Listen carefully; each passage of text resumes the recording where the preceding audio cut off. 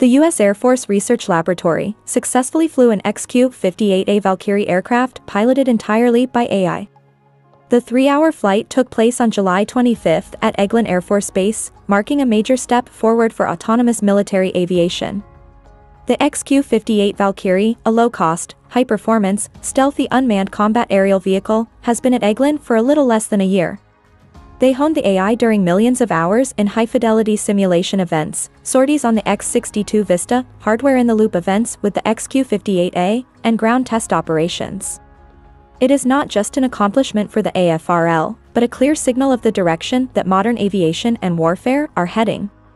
This technology builds on AFRL's Skyborg Vanguard program for autonomous unmanned wingmen that began two years ago. It has potential applications for combined joint all-domain command and control initiatives, enhancing information sharing and decision-making.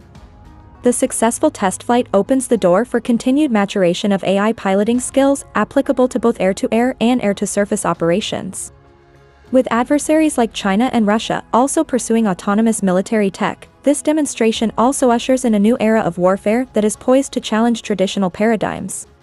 AI's continued integration into military operations raises serious ethical and strategic questions that societies worldwide will need to grapple with.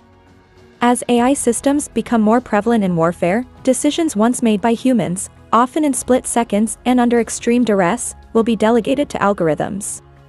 Ensuring these AI agents adhere to the rules of engagement and international law, while also effectively distinguishing between combatants and civilians, will be of utmost importance.